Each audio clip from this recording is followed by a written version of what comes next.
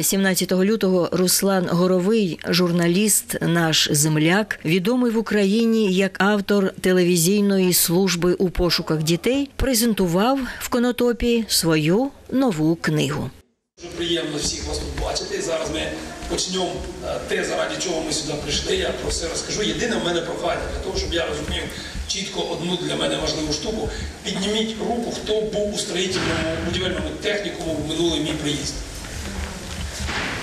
Ну, трошки були, але не багато. Нормально, все, зрозуміло, як ми побудуємо. Значить, ще раз, звати мене Руслан, прізвище моє Горовий. Е, Так сталося в цьому житті, що час від часу я щось пишу. Цей процес не контрольований абсолютно. Е, Голова переповнюється якимись думками, потім вони починають давити із середини, і я не можу нічим займатися, я не можу е, ні з дітьми бавитися, ні на роботу ходити, я не можу нічого, допоки я це все не викину, умовно кажучи, на папір. Так е, з'являються всі мої книжки. Вони всі записуються обично в телефон. Після того вони публікуються в Фейсбук. Якщо бути чесними, то купувати мої книжки вже немає ніякого смисла. Чи ніякого. Тому що всі ці історії можна знайти в Фейсбуці, вони всі є. Я їх не ховаю, тому що в мене найголовніше правило, що слово, якщо ти щось маєш, воно тобі дано, якось сам не знаєш яким чином, то його потрібно давати людям абсолютно щиро і чесно. Книжки е, видаються тільки для того, щоб е, під час спілкування або читання я міг якось там, можливо, там залишити якісь пару слів, щось написати людині, там, приємне. Да? І вони е, нам підтримується інтерес до книжки, е, продаючи одні книжки, з'являються гроші на видання інших. От і все. Книжки стоять не дуже дорого, ми намагаємося, щоб це було до 100 гривень, взагалі там 70-60 гривень. Книжка стоїть. Це ісключительно для того, щоб виправдати якось її появу. Це неможливість е, заробити щось на цій книжці, розумієте? Це так, щоб для предіслов'я, щоб ви не подумали, що я приїхав у вас по кишенях власне. У мене є власне по кишеням, я там ділаю. Е, Ми побудуємо як? Я почну з нових книжок, я почитаю те, те що ви не чули, ніхто, ніхто в конотопі не чув. Потім повернуся, можливо, почитаю щось із того, що було раніше. Ми поспілкуємося, щось ви не попитаєте, я щось розкажу або ні. Ну, якось так, я думаю, що будемо намагатися все це е, е, побудувати таким чином. Отже, е, зараз я привіз дві книжки переведення Гагаріна Барселона і книжку Тисяча одна ніч війни. Я почну з книжки Тисяча одна ніч війни. Ви зараз зрозумієте, чому це сама нова книжка, написана за останні десь півтора року. І саме з неї ми почнемо. Але почати я завжди хочу так, як я починаю всі презентації з появи цієї книжки. Зараз я вас десь познайомлю.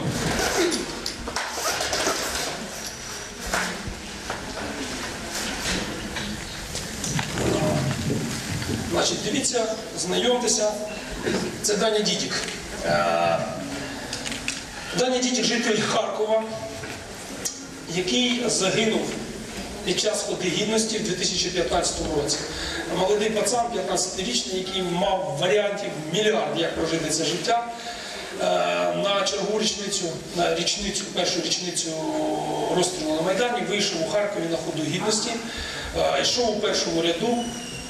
Е, коли виродки, вибачте за слово, я обично кажу ще якось е, гірше, але поки у нас в камері я не буду цього так сильно вже підналірувати. Коротше, ці виродки заклали бомбу, бомба вибухнула, загинуло четверо людей, 11 було поранено, в тому числі пішов життя Данька Дідік. Це один з тих е, людей для мене, принаймні, яких я називаю е, моєю совістю. І все, що я намагаюся тепер робити під час війни, я так чи інакше е, е, йому репрезентую, а як би він до цього поставився. Тому що е, ніхто, ніяка дитина не має помирати в 15 років. Е, це справжній герой нашої е, України, який 15 років розумів, що він робить, чому він робить, чому він пішов на ту году гідності, що він хотів, е, з чим він боровся. Розумієте? І е, так сталося, що його нема. Ця книжка «Тисяча одна ніч війни я присвятив Даніку. Я зачитаю зараз присвяту, тому що е, е, краще я зараз не буду придумувати нічого, то що вже е, накипіло в мене в голові, і я виклав, виклав е, цю книжку. Ось так виглядає присвята Даньки. Е, я вам її зачитаю, з цього ми почнемо наше спілкування. 22 лютого 2015 року Дані Дідіка важко поранило в теракті в Харкові під час ходи. Наступного дня він помер. Дані лише було 15. Він любив маму, татка і сестричку. А ще вірив, що freedom not free. І за волю і незалежність треба боротися, а не тихенько чекати, коли її здобуде для тебе хтось інший. Однак покидьки відібрали в дані життя. Він не встиг ані почути шум Ніагари, ані побачити схід сонця у Тібеті. Він заплатив найдорожчим, щоб усі ці можливості були у нас. У книжці, яку ви тримаєте в руках, шматочки життя різних людей, шматочки, із яких зіткнення ряднина нашого сьогодення. У тому, що я й написав, є велика заслуга 15-річного хлопчика, який до останнього стояв на захисті моєї країни. Данька, я присвячую цю книжку про людське життя тобі. Наглядай за нами, щоб ми не похитнулися у найголовніший момент.